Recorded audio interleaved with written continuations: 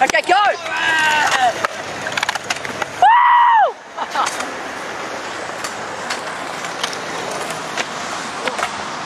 What do you call that one? I call it the um Big J man. Yeah. the big J man. cool.